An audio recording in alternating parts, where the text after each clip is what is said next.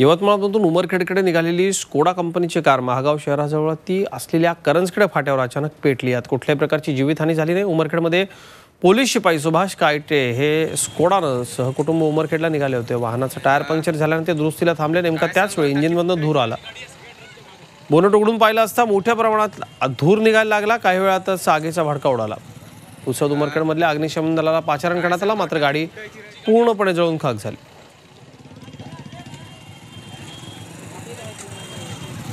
Zee चोवीस तास रहा एक पाऊल पुढे.